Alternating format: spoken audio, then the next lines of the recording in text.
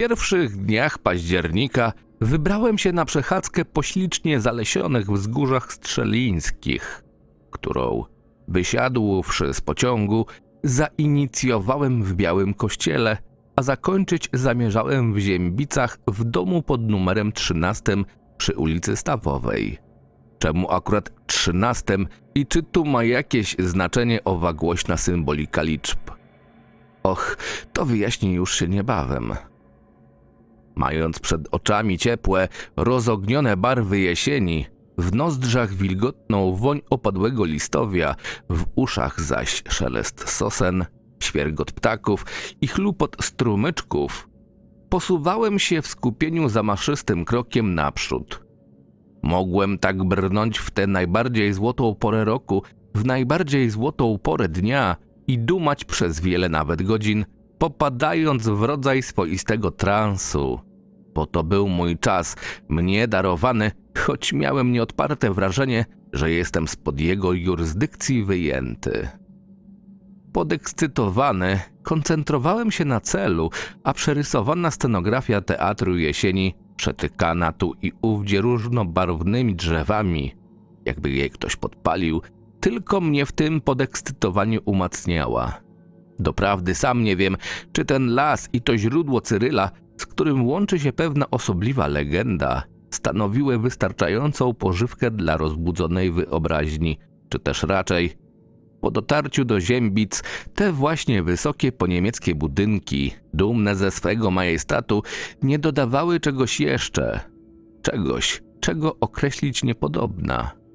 Nad miejscową krainą unosiła się bowiem trudna do zdefiniowania i bliżej nieokreślona aura grozy, a brała się nie wiadomo skąd.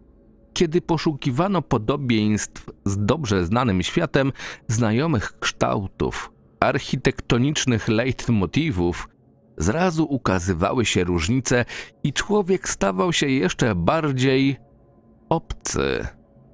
Bardziej niż był w istocie. I tak przypadała mu rola podróżnika, co odkrywa dzikie lądy i niezwykłe miejsca. Miasta widma, w których wszystko jest jakieś inne, dziwne i niesamowite. A więc Powtórzmy to raz jeszcze.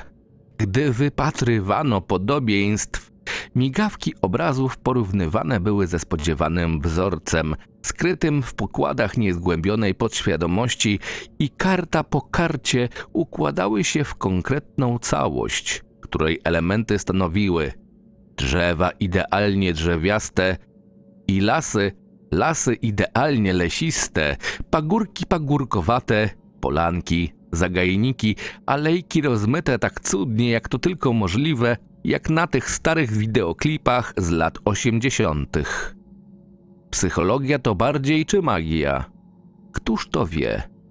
I tak brnąłem w złote te migoty, a jasne karty pejzażu wirowały jak listki afektujące wiatr i zapadały w mej pamięci, stając się z minuty na minutę całkowicie zależne od słońca, które pod wieczór zrobiło się czerwone i grzało, a cieplna energia tego słońca zwielokrotniała się i kumulowała niczym dźwięki w pudle rezonansowym, bo to był w rzeczy samej las. Drewniana, ciemna sprawa. I soki słoneczne zwielokrotniały się i przelewała z butelki do butelki, nadając wszech rzeczom czegoś z ciemnego piwa, paliwa. Czasem spadł spłowiały listek, czasem przeleciał samotny ptak, ale nic ponadto się nie działo. Mogłem więc za pomocą słuchawek przypominających fonendoskop medyczny wysłuchać podcastu na temat pewnego morderczo usposobionego osobnika z pobliskich Kalinowic Górnych. Co za historia! Przed zachodem słońca dotarłem na zaskoczone sobą dróg rozstaje. Ogromne i zdziwione obecnością swoją znaki drogowe, co wisiały, trwały, pałały, którędy na dworzec, gdzie łączą się szlaki, a którędy na stawową, dokąd dla odmiany żadne się nie wyprawiają. Ale mniejsza o inne. Mnie interesuje ten konkretny, ten czerwony, jedyny w rodzaju swym który biegnie po linii idealnie niemal prostej. Ów szlak jest w zasadzie duktem, ale zdarza się, iż na sekundę staje się wąską, zarośniętą i niewyraźnie zarysowaną ścieżką, po której nikt nie chodzi. Dopiero za źródłem, a na chwilę przed ziębicami, droga gwałtownie skręca w lewo, by po wyjściu z lasu przesączyć jak przez mgłę wspaniałą panoramę ziębic z dawną, nieotynkowaną fabryką konserw, mielonek, podrobów. Zatopioną w blaski i cienie zachodu, którego barwa, teraz tak szczególna, harmonizuje z królującymi w tej krainie ceglanym, brunatnym, kolorami zardzewiałego żelaza. Pół godziny drogi i jestem w sklepie, gdzie kupuję mielonkę i odbywam rozmowę ze sprzedawczynią. Drugie pół i już na progu domu przy ulicy Stawowej. Jeszcze tylko kluczyk spod wycieraczki wyciągam, jak było ustalone, i wiadomość od właścicielki odczytuję. Proszę się rozgościć, pieniądze dotarły, a zatem do jutra wracam o ósmej. I już mnie wita Karl Denke, słynny kanibal z Ziębic, to znaczy jego duch. To znaczy, nikt mnie nie wita, bo Denke od dawna ziemię ziębicką gryzie, a ja nie wierzę w duchy tak zwane. Ten dom, ta pechowa trzynastka, to oczywiście jego gniazdko, w którym mogłoby się mieścić muzeum albo miejsce jakiegoś kultu kanibalistycznego. Mogłoby, lecz się nie mieści, bo nikt go nie chce. Przyjeżdżają czasem, gapie się nagapić, ale do środka nie włażą. Gospodyni nie pozwala. Jej prawo. Kuknąłem na czasomierz. Była dokładnie dwudziesta druga. Odwróciłem się jeszcze na moment, jakby przeczuwając najgorsze, i zerknąłem za siebie, gdzie pozostawiłem życiowe wzloty i upadki pofałdowanego terenu, demony przeszłości zawarte w szponach wyrastających z ziemi i układających się w drzewa na tle ledwie widocznego nieba. Zgrabione liście w żółcieni, świecące jak żółte kartki ostrzegawczo. Boże, w tej przecudnej zonie wszystko miało swój kolor. Brunatny odcień brązu albo cegły i pachniało chłodem oraz wilgocią. To jak to jest? Oto pytanie, które po przekroczeniu progu ciśnie się na usta. Znaleźć się w tak smutnym i ponurym domu, w którym popełniono tyle zbrodni. Smutnym. My, autor, rozumiemy to dosłownie. Wnętrze nie zmieniło się zbytnio od czasu drugiej, a zapewne i pierwszej wojny światowej. Rozkład izb i dobudówek znałem z fotografii. Wyjąłem je teraz ostrożnie, niemal z atencją i zacząłem jedna po drugiej porównywać z tym, co miałem przed oczami. Na fotografii pierwszej znajdował się wiejski pokoik pełen rupieci wszelakich. Zabłoconych butów husarskich, kapelusika rzuconego niedbale na stolik, słojów i garnków stłaczanych jedno na drugie, suszu wyglądającego jak bożonarodzeniowa lub wielkanocna ozdóbka, sznurów i w miejscu centralnym komody z pootwieranymi jak paszcze mitycznej bestii szufladami. Zdjęcie drugie było ciekawsze, a przedstawiało kuchnię szpitalną z piecem kaflowym, zegarem z kukułką oraz ogromnym lustrem. Na czym polegała rzeczona ambulatoryjność kuchni? Otóż sufit w tym zimnym pomieszczeniu znajduje się het, het wysoko, podłoga bije po oczach i pała promieniście, pewno za sprawą takiego, a nie innego oświetlenia, a po kątach piętrzą się prześcieradła, porozrzucane niechlujnie, wybielone jak wybielone śniegiem i lodem, wypiętrzone Himalaje. Te obrazy świata widzialnego, wszystkie, bez wyjątku, są ze wszech miar i ze wszech stron przygaszone i w tym sensie smętne, wyblakłe, no po prostu jesienne. Celowo nie zapalałem światła, lecz posiłkowałem się latarką, którą zawsze noszę w plecaku. Teraz swoje pięć minut miała nocka, która od razu zabrała się do roboty i zaczęła dobudowywać miastu kazamaty, a domom dodawać kolejne nieistniejące piętra. Wiem, że to zabrzmi kuriozalnie, ale pragnąłem, by i tak już rozpleniony w chałupie mrok wziął ją w posiadanie jak za czasów Denkego, by obsiane pole chorej mej wyobraźni jak inwazyjna pleśń, wyroiło wizje i obrazy dziesięciokrotnym urodzajem. I tu jest miejsce dla poczynienia krótkiej charakterystyki architektonicznej tego lokum, dla opisu scenerii, w której przyszło mi się teraz znaleźć. Niemieccy wysiedleńcy, rzecz znamienna, lubowali się w różnego rodzaju dobudówkach, nadbudówkach, przybudówkach, w gankach, krużgankach i werandach. Ów dom składał się przeto z nieokreślonej liczby izb, istnego labiryntu stryżków, bantów oraz krokwi, zwodniczych manowców, onirycznych wertepów, a także piwnicy. Do tej ostatniej wolałem nie wstępować. Dla mnie najważniejsza była kuchnia. To w niej szalony Karl mordował i patroszył ludzi, głównie bezdomnych i prostytutki. Naprzód tych nieszczęśników karmił i gościł, a potem bezlitośnie szlachtował. Przez swą rzekomą gościnność zyskał sobie miano dobrotliwego ojczulka, opiekuna ubogich. Ludzie chętnie doń zachodzili, ale żywi stamtąd nie wychodzili. Pan Karol miał na koncie czterdzieści zabójstw, z których spowiadał się strona po stronie swemu dziennikowi, podając płeć danego delikwenta, jego wiek oraz wagę, a także wzrost. I sprawdzając, ile tuszy. Tusza, rzecz w owym czasie bezcenna, udało się z nieboszczyka pozyskać. Przerobione mięso sprzedawał następnie na wrocławskim targu, w dzisiejszej hali ludowej, jako peklowaną wieprzowinę bez skóry, na co miał specjalne urzędowe pozwolenie, a klientów nie brakowało. Notabene nikt nie udowodnił mu kanibalizmu i po tylu latach już nie ma i raczej nie będzie dowodów na to, że wcinał ludzi. Postanowiłem zrobić rundę po najczarniejszych zakamarkach po niemieckiej rozwaliny, w której, daję słowo, dawało się wyczuć obecność jakiegoś ludzkiego pierwiastka. Kiszek, jelit, wyrostków robaczkowych, odbytnic, macic, penisów, piegów, brodawek, liszajów, wągrów, kurzajek, zmarszczek, rozstępów, pomarańczowych skórek, łupieżów. Szedłem i szedłem, a tłuste cienie uciekały w popłochu przed zwiastowaniami świecącej lampki, którą niosłem. Wręcz dawało się słyszeć ich szelest oraz łopotanie kosmatymi i przez tę kosmatość złączonymi z nocy mrokami skrzydłami. Nie przejmowałem się tym zbytnio, poznawałem teren. Zresztą to był stary dom i jak schorowany Matuzal miał prawo do skarg oraz jęków.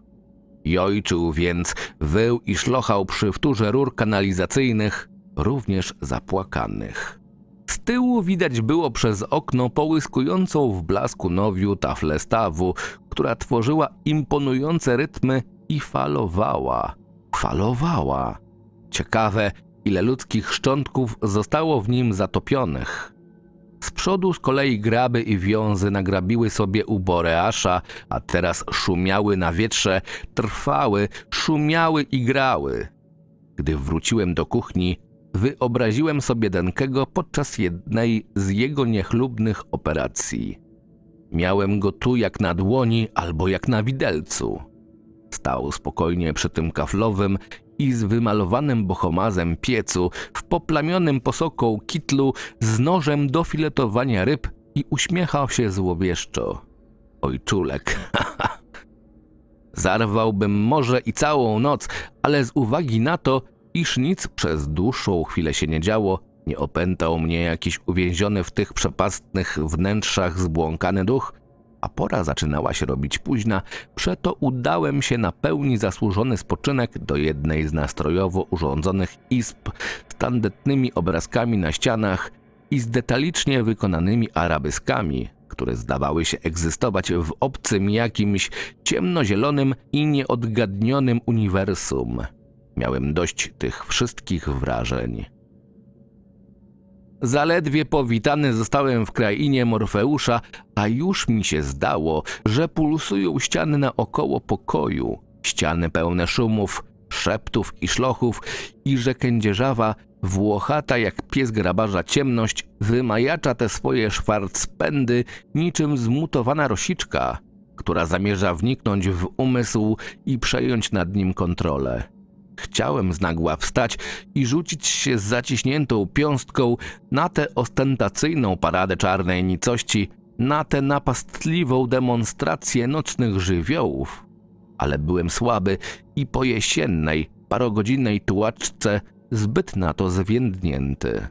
Tymczasem to tu pępek nocy postanowił wyroić twarze zaszlachtowanych ludzi, które, teraz spłaszczone do niepoznaki, do błogiej nicości, stopione były ze ścianą i pulsowały, biły się w konwulsjach pod łuszczącą się farbą i które wodziły za mną smutnym i pełnym bólu wzrokiem to tu, to tam.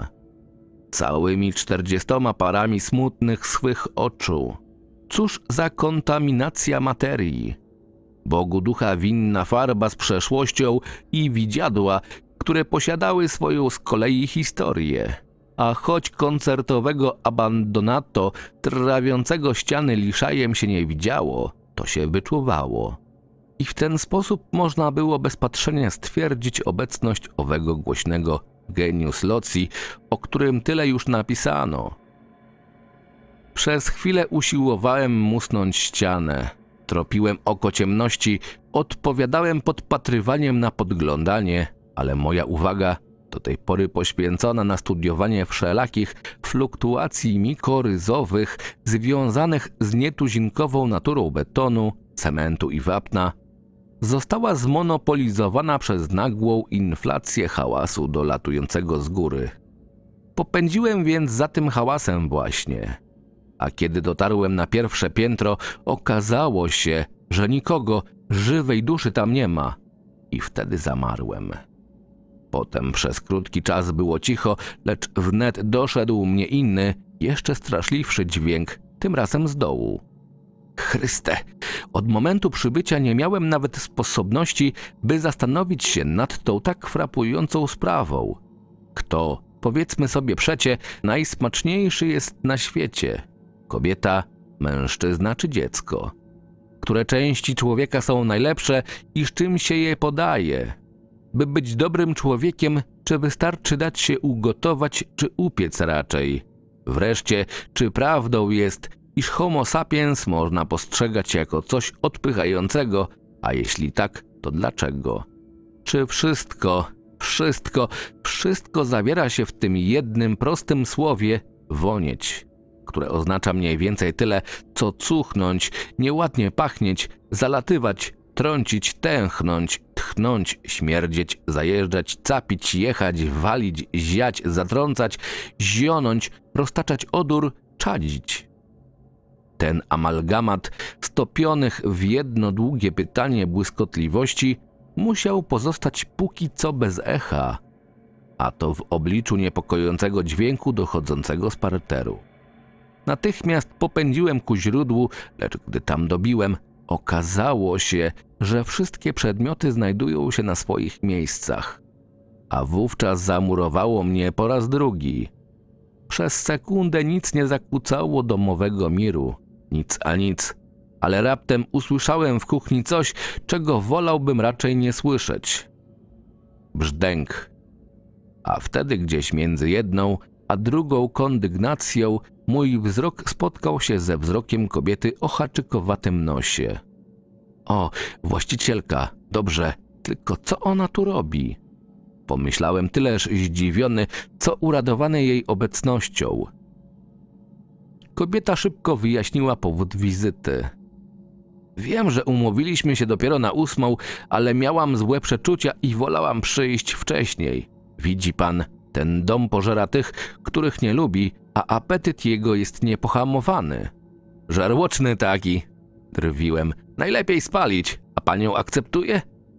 Wychowałam w nim trójkę dzieci i jest dla mnie szczęśliwy. Czemu akurat tu? Nie było wolnych domów? Gdy przybyłam z Kresów, wszystkie chałupy były zajęte, a ponieważ o Karlu Denkę nic nie wiedziałam, zamieszkałam pod tym właśnie adresem i tak już zostało. Dopiero po miesiącu pojawił się ksiądz z kropidłem oraz wodą święconą i wszystko mi opowiedział. Na przeprowadzkę było jednak za późno. Ot i cała historia. A pan? Nie boi się tego miejsca i śmierci? Zdziwiło mnie to pytanie i jakaś introspekcyjna czerwona lampka zatliła się w lichtarzu umysłu ostrzegawczo. A wnet czas nastąpiła przerażająca metamorfoza i z pani zrobił się nagle pan. Nie było chwili na rejtradę. Przypomniały mi się fotografie i on pojawił się miast Kresowianki. Rano gospodyni znalazła ciało i wezwała śledczych, którzy po pewnym czasie zgodnie orzekli, że to ja, a nie kto inny ukrył zwłoki, wiele zwłok. Do pełni szczęścia brakowało tylko tego ostatniego, czterdziestego, bo uczeń nie może być przecież gorszy od mistrza, prawda? Teraz te osiemdziesiąt par oczu żegnało meścierwo z zagrobu i nawet Denke tam był. Mein Meister. Scenariusz Maciej Żołnowski. Czytał Krystian Kieś. Zapraszam do subskrypcji mojego kanału.